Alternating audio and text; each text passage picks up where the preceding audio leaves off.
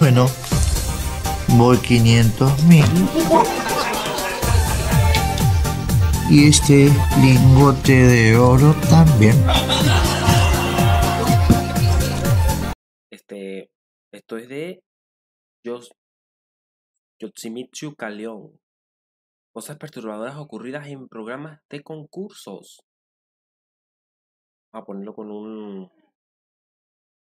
Vamos a ponerlo aquí, eh, aquí. Porque si no pesa demasiado para la computadora y, es un lío tremendo. Entonces ocurren muchos problemas. Bueno, vamos a verlo. Este, esto está mejor aquí. Un segundito que esto lo preparé porque honestamente no tenía pensado hacer directo hoy.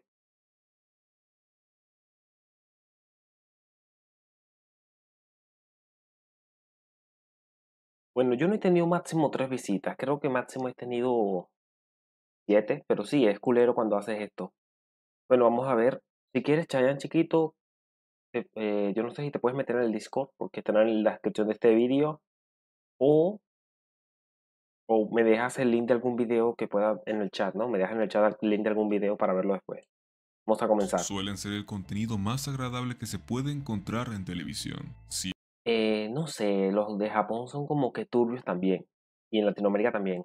siempre emocionantes y con un ambiente festivo, para que tanto los implicados en ellos como nosotros desde nuestros hogares Mm. pasemos un rato agradable. No obstante, de vez en cuando llegan a suceder cosas muy desafortunadas. Y en este video veremos tres casos poco conocidos de sucesos atroces Hmm, ocurridos durante estas emisiones. Uf, como cuáles eran atroces.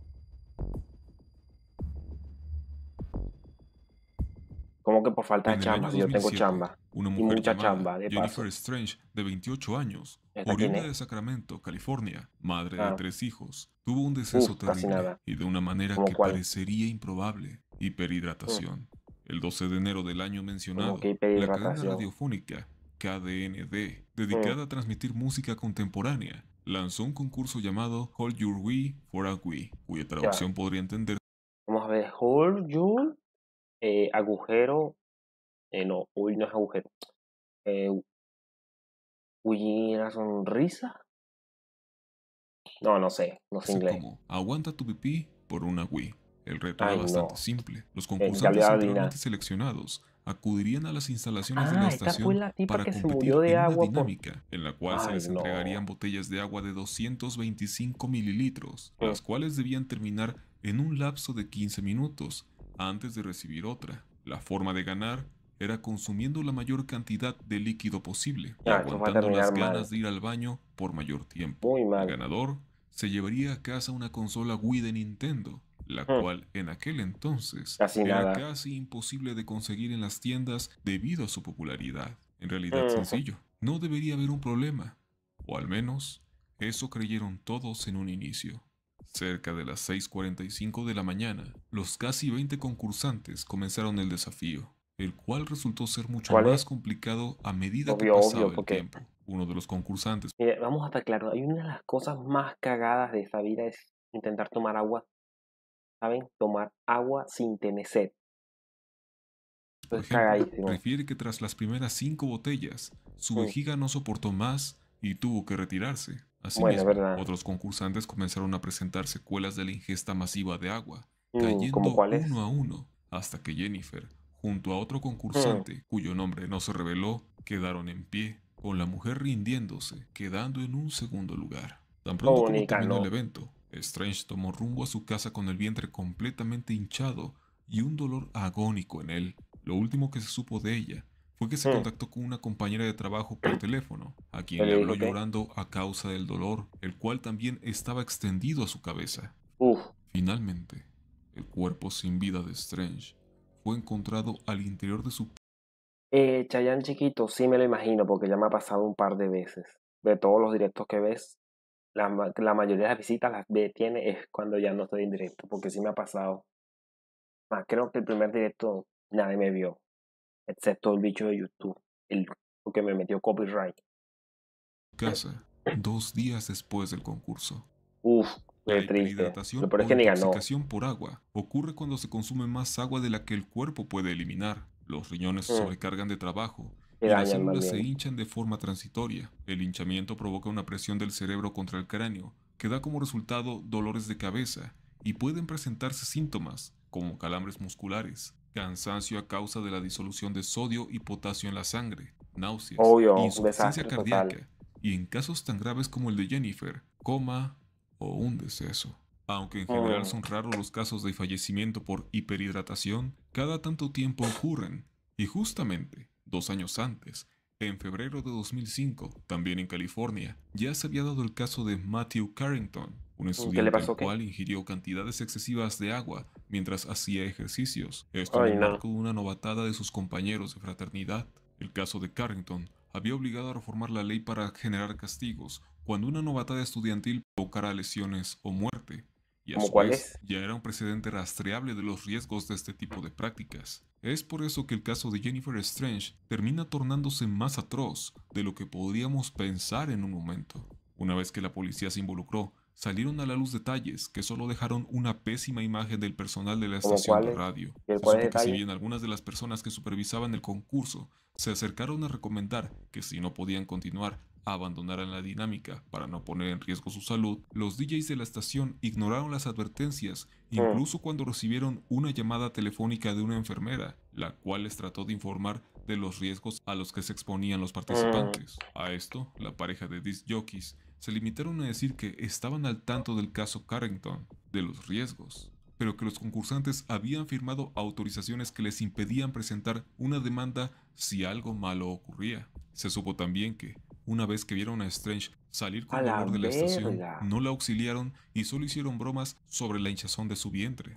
Tan solo está feo. 24 horas después de que el cuerpo de Strange fuese encontrado y la policía investigara la situación, Morning Rave, el programa en el cual se desarrolló el concurso, fue cancelado indefinidamente. Fueron despedidos Mm. varios empleados, incluyendo a los DJs. La estación rompió toda relación con los implicados en la funesta dinámica, pero esto no alivió las cosas, ya que las autoridades consideraron que la estación, quien también había dado cobertura al caso Carrington en Es que todo un desastre. Eh, me pasó una vez cuando tomé cuatro botellas de agua y empezó a doler demasiado la cabeza porque no había tanto nada al final que estar en reposo. Mm, bueno, eso depende porque no todo el mundo va a reaccionar igual. Pero sí, no. Pero la, la emisora de radio tiene en parte, también parte de la culpa porque ya les habían dicho que esto estaba mal y se lo metieron varias veces. Es lo peor. en su momento, tenía una enorme responsabilidad al haber permitido los hechos. El juicio Sí. que se abrió hacia la cadena KDND fue largo y prácticamente los llevó a la ruina. La familia de Strange, conformada por su esposo y sus tres hijos, fue bien Uh. representada y al final recibieron más de 16 millones y medio de dólares como indemnización. Uh, KDND seguiría operando durante otros 10 años, ganándose el repudio de toda la comunidad radiofónica, hasta que fue desaparecida para dar paso a una nueva estación. ¿Cómo Pero el cuál? caso de Jennifer Strange, quien probablemente solo quería hacer algo por sus hijos al conseguir la consola de videojuegos, quedó marcado para siempre en la historia de la Me sorprende que Nintendo no demandara a la tipa, a la radiofónica por dañar su imagen con la Wii. Es como, mm, no sé, como raro. Ya sabemos cómo es Nintendo. Así que bueno, pues. Eh, ¿qué más? Ah, qué desastre. Cuando uno quiere hacer algo bueno, pasan cosas malas. radio estadounidense. Uf, qué triste.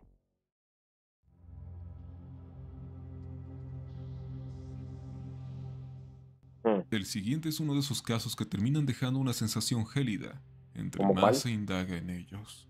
Ah, el bueno, valor de la verdad es un Uf. programa de televisión peruana en el cual los concursantes son sometidos a revelar todas las cosas concernientes a su persona, desde cosas muy simples hasta secretos muy profundos. El programa pone a prueba en cierto modo la integridad de los participantes. Uh, cada bueno, bloque de preguntas, dividido en seis niveles, profundiza en aspectos cada vez más íntimos de la información personal, y si quien participa decide mentir en algún momento, pierde el monto de dinero que haya logrado. Eh, vamos a estar claros que esto es una pésima idea. Pero si ya tú aceptaste venir aquí, es como, no tiene justificación. lo cual deberá ser siempre Por cierto, me doy cuenta que tengo un display de dos minutos y medio. Que disculpen. honesto hasta donde pueda hacerlo. Podemos Mm. dialogar sobre los pros y los contras de un formato de esta naturaleza. Vamos Pues a es evidente que más allá de los cánones de un concurso convencional, el gran Sí. atractivo aquí es exponer la intimidad de personas aleatorias. Es el y ante morbo, algo señores. como esto, El podríamos morbo. llegar a pensar que sería actuado o manipulado de alguna forma. Sin embargo, tan Ah. solo en la primera emisión de este show ocurrió algo que, de un modo muy visceral, dejó ¿Cómo claro que todo era verídico. El Ay, 7 no. de julio del año 2012, Uf. Ruth Talía Sayas Sánchez sería la primer concursante de la emisión. No me Ella estaba interesada en llevarse el premio de 50 mil Vamos a ver. Dijo que mató a alguien, que le montó los cachos al marido o que robaba. soles, que conlleva llegar al último nivel. Ruth estaría acompañada de sus Este, ya tengo redes sociales como TikTok y ya he hecho promoción en ellas. O Instagram. Bueno, en Instagram he hecho muy poco. Eh, llegué a hacer directos en Twitch hace como tres años. Y ¿sabes qué? Solo tuve un suscriptor y solo me vio una persona. Porque Twitch no es para crecer. Twitch es para crear contenido que resubes a tu canal. Así sí. Pero Twitch no es para crecer, porque en Twitch va la gente que ya tiene muchísimos seguidores, muchísima fama, para poder hacer directos con otro tipo de calidad. Por eso Twitch no es bueno para crecer como, como streamer. Y bueno, yo tampoco tengo mucho apuro. O sea, yo solo quiero llegar a los mil, las cuatro mil horas de reproducción y a los mil seguidores para ver si algún día. Pero, pero mi meta ahorita es divertirme.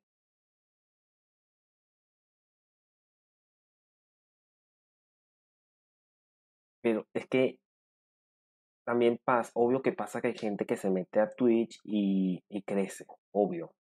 Yo llegué a estar ahí ya hace tres años y tuve un solo seguidor que creo que me sigue, todavía sigue siguiendo. Pero este, es como, además necesito mejor conexión a internet también. Porque antes, donde yo vivía antes sí había buena conexión. Entonces yo ahorita no hay buena conexión. Por eso es que este directo estaba tan mal. En cambio, antes podía todo. Pero bueno, continuemos.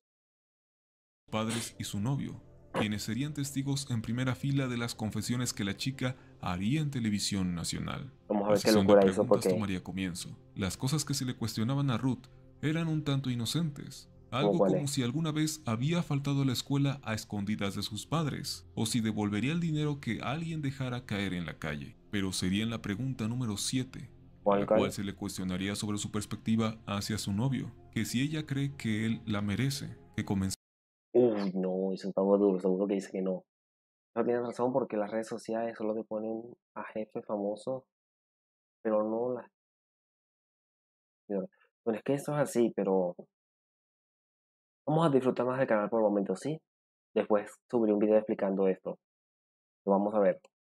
comenzaría a torcer las cosas. Ruth, Uh, con nervios, respondería que sí, algo que Uh. visiblemente volvió las cosas incómodas. En la pregunta número 10, se le preguntaría a la joven si en realidad ella trabaja en un call center, No, como se lo ha hecho creer a su familia y pareja. Ante esto, Ruth respondió con un titubeo evidente que no, y la reacción de sus padres, como puedes ver, es de desconcierto. ¿Trabaja vendiendo drogas o trabaja en un lugar de caricias? Porque honestamente si trabaja en un lugar de caricias creo que convendría más haberlo dicho desde antes, ¿no?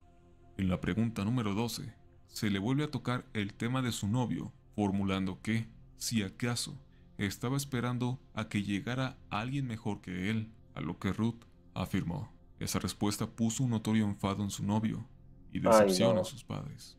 La pregunta número 16 es el punto más álgido de todo, pues a textualmente lo que se le pregunta a Ruth es, ¿crees que tus padres estarían orgullosos de ti si supieran realmente a qué te dedicas? Uf. A esto, ella dice que no. El conductor decide ir un poco más allá, preguntando si, a eso a lo que se dedica, se trata de algo ilegal o vergonzoso. Y Ruth afirma esto último. La siguiente Uf. pregunta es tajante. Sí, Se cuestiona a la seguro. chica si trabaja en un club nocturno y la respuesta, como sería sí. de esperar, es positiva. Esto Sí. rompe por completo a sus padres y a su novio. Mira, yo creo que los padres y el novio se rompen más por el hecho de que me mentiste con algo así. Porque honestamente, si yo tuviera una pareja que trabaja en un club nocturno, pero desde un principio, antes de comenzar la relación, me lo, de- me lo demostró, miren, le voy a ser honesto. eh, Ya sería mi problema si hubiera aceptado estar con ella o si decidir seguir con otro camino. Pero claro, a la mayoría de la gente le- no le gusta que no le diga la verdad. Ya lo sé por mano propia. La señora se echa a llorar desconsolada. El señor Mm. es interrogado de si desea que su hija siga adelante con las confesiones, algo a lo que con un más que evidente enfado acepta, probablemente más preocupado por descubrir todo el asunto que por el dinero y el concurso en sí. Mientras tanto el novio no quiere saber más al respecto. Uf. Talía decide continuar con una pregunta más. Al punto en el que se encuentra, podría llevarse 15 mil soles después de responder, ya que si Sí. se retira en ese momento, la cantidad sería inferior y las dos preguntas anteriores habrían sido en vano. Posterior Uf. a eso, confiesa que su labor en el club nocturno es como bailarina exótica, lo que no mejora la reacción de sus padres. Ah, la decimoctava y última pregunta sería, ¿alguna vez has aceptado dinero a cambio de tener relaciones? La respuesta para este punto ahora que lo pienso bien, ¿de dónde cojones sacan esta información? Porque no creo que tú mismo se la vayas a dar. es intuitiva.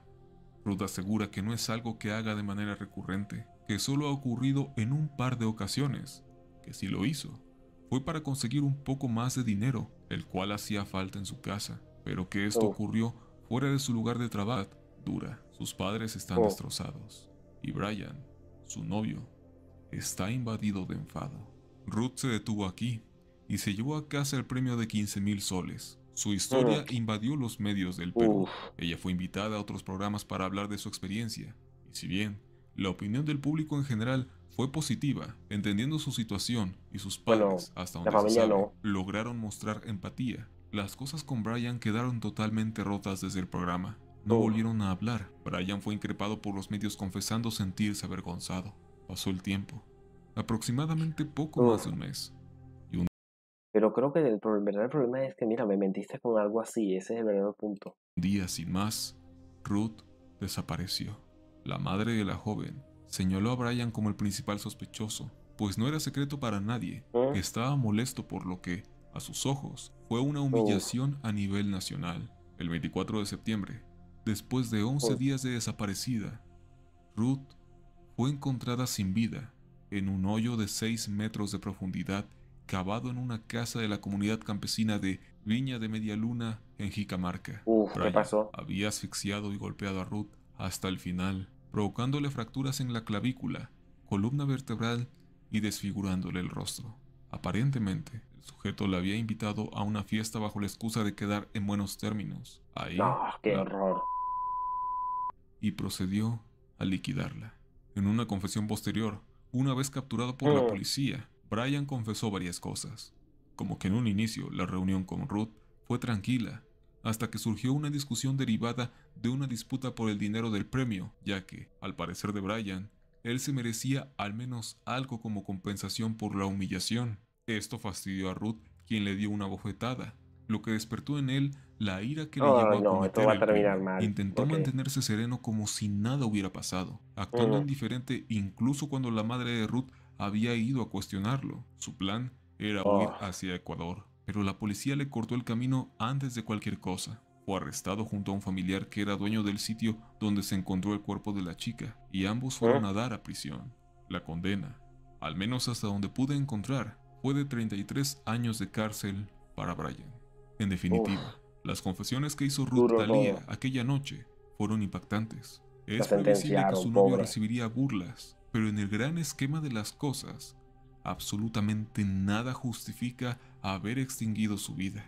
Quizá Mm. no del mejor modo, como si nada estaba tratando de hacer lo necesario por su familia. Sin duda, Mm, bueno, es uno de los verdad, porque- pasajes más turbios en la televisión de Perú, e incluso, podríamos decir, de Latinoamérica en general. Vamos a ver si sale uno de Venezuela de casualidad. Porque, uff, quiero saberlo. Si eres un consumidor de historias oscuras, sobre todo de crímenes Ah, este fue el reales, tipo. es casi que- seguro que ubicas perfectamente Este no fue el tipo que metieron a un show de citas y el tipo era un asesino. el caso de Ah, Rodney Alcalá, al- aquel ah, terrible sujeto mismo, conocido mismo. por sus infames crímenes a las mujeres, el Mm. cual en algún momento llegó a estar en un programa de televisión. Más precisamente uno de esos clásicos programas de citas, donde una chica tiene la oportunidad de hacer preguntas a distintos solteros hasta decantarse por alguno. No sería sino hasta tiempo después que se supo que Alcalá ya había cegado la vida de al menos cuatro chicas justo en el momento de aparecer en televisión, siendo en una mórbida jugada del destino el ganador de la emisión, con el derecho a tener una cita con la participante en cuestión, compromiso que no se llevó a cabo, pues algo de él le provocó rechazo a la chica, esquivando una bala, tanto metafórica como un Literal. poco literalmente. Como mencioné hace unos instantes, todos conocemos esta historia. Hay decenas de videos aquí mismo en YouTube, amén de páginas de internet y documentales que hablan a profundidad de Mm. este asunto, por lo que no será necesario abordarlo un poco más. Ahora bien, hay un buen puñado de refranes que nos hablan de cómo la historia tiende a repetirse en múltiples formas, Uf, porque la historia siempre se va a repetir, ¿no? y lo que veremos en los siguientes minutos, con sus respectivas distancias, hay que decirlo, es una buena forma de afirmar dichas declaraciones. Ne Sikarsa Batina fue un popular programa de televisión de Turquía, el cual tiene como enfoque principal que los panelistas puedan iniciar una relación romántica. Para esto hay distintas dinámicas, a Oye, veces simulando a los No joda, esa calidad de cine, uf, me mata.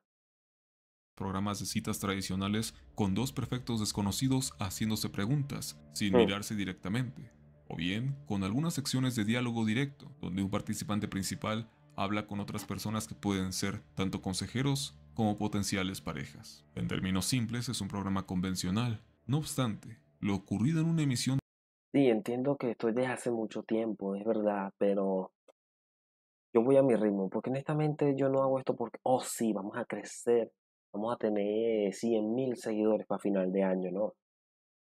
Yo sé que no voy a tener 100 mil seguidores, creo que ni en toda la vida del canal. Yo hago esto más como un pasatiempo para pasar la vida, conocer gente, tener un entretenimiento más sano que el que tenía antes. del año Mm. 2014 dejó con un nudo en la garganta tanto a la audiencia como a los participantes. Es En aquella hicieron. ocasión, de la cual no pude localizar la fecha exacta, se presentó este hombre que ves en pantalla, ¿Y este llamado? Sefer Kalinak, soltero de, en ese entonces, 62 años, Uf. el cual acudía al programa con la intención de encontrar a una buena mujer que estuviese dispuesta a cuidar de él, ya que padecía diabetes, problemas del corazón y otras Ah. afecciones propias de su edad. Durante su participación en la emisión, Sefer se mantuvo sonriente, respondiendo de buen modo a lo que se le preguntaba y mostrándose como un sujeto amable y honesto, hasta Ah. que, en determinado momento, convengamos, fue demasiado honesto. Sefer comenzó a decir que tenía muy mala suerte en el amor, ya que ninguna Mm. mujer permanecía mucho tiempo a su lado. El motivo es que todo se venía abajo una vez que les contaba cómo había acabado con la vida de dos mujeres con las cuales había estado anteriormente. Uf, Sefer se definió a sí mismo como alguien víctima de las circunstancias. Explicó que se había casado por primera vez cuando tenía Mm. 17 años con una mujer la cual era su prima. A ella iban a casarla a la fuerza con un hombre mayor, así Qué que feo. decidieron huir juntos para evitar el compromiso. Pero que una vez viviendo por su cuenta, las cosas empezaron a torcerse. Mencionó Mm, qué que empezó a sentir unos celos enfermizos, ya que Mm. luego de un tiempo, el sobrino de aquel hombre con el que su El Discord está en la descripción de este vídeo, no hay problema. prima debía casarse, la empezó a frecuentar y ella, por su parte, comenzó a cambiar su comportamiento. La situación lo sacó de sus cabales y terminó por acabar con la vida de la chica en medio de un arranque de ira. Por este crimen, fue capturado y recibió una pena de 13 años de cárcel, la cual se vio reducida a poco más de 4, gracias a una Mm. amnistía por su buen comportamiento. Prosiguió explicando que, al salir de prisión, conoció a una mujer con la cual se casó y tuvo dos hijos, pero de la cual terminó divorciándose, ya que las cosas nunca terminaron de Oh. encajar. Luego de esto, habría tenido una relación clandestina con una mujer casada, la cual le prometió que abandonaría a su esposo para estar con él, cosa que nunca ocurrió, y en cierto momento Sefer comenzó a sospechar que ella solo lo buscaba por interés, ya que él se mantenía bien económicamente. De esta relación incómoda, derivó un pleito en el cual cuenta, ella buscó Oh. agredirlo, a lo cual él procedió a defenderse con un hacha, ocurriendo que, al blandir el objeto, por accidente, según sus palabras, acabó con la vida de ella. Por este hecho volvió a ser arrestado y llevado a Uf. prisión, recibiendo una condena que terminó siendo reducida a seis años, gracias, de nuevo, a una amnistía a causa de su comportamiento. Hmm. Ne yaptın? Ne yaptın anlamadım ben. Kader kurbanı olarak. Hanımını mı öldürdün? Uf. Aa bir dakika şimdi. Evet benim hayatım ne bileyim. Yine buna şükür. Niye yaptın böyle bir şey? Felakete Böyle bir sebep zulüm yaptın. olan şey sade kıskançlık ve bir de hal ve hareketleri. Uf. Ne olur yani lütfen beni yanlış anlamayın ama ben e, programı terk etmenizi istiyorum. Teşekkür ederim. Lütfen. Buyurun efendim. La confesión de Sefer no dejó indiferente a nadie y el ambiente se volvió tan tenso que se Oh. le tuvo que pedir que se retirara del programa, algo que aceptó sin discutir. En palabras de este hombre, él estaba tratando de iniciar una nueva vida, siendo completamente honesto con todo el mundo, buscando una familia Oh. feliz. El productor del programa diría algún tiempo después que había reconocido a Sefer Oh. al instante, pero que consideró que alguien que había pagado su condena merecía una nueva oportunidad. En cualquier Mm, caso, bueno. las reacciones del programa fueron muy divididas, entre quienes pensaban que era justo no prejuzgar al hombre y quienes argumentaban que el tipo era un peligro, ya que acabar con la bueno. vida de dos personas no Bueno, eso depende porque no sé las circunstancias exactas, así que habría que juzgarlo hasta el punto de cuando uno lo conozca. puede ser visto como algo circunstancial y que seguro se trataba de alguien terrible. La cadena donde se emitió el programa recibió múltiples quejas, tanto nacionales como internacionales por la Mm. situación, y al menos, por lo poco que pude encontrar, parece que el Mm. show fue cancelado algún tiempo después. Hay muy poca información sobre este caso en la web, al menos de lo que se puede consultar irrumpiendo un poco en la barrera del idioma, pero es algo sin Mm. duda peculiar. ¿Qué piensas tú del Sí. asunto? ¿Crees que Sefer Kalinak merecía una oportunidad?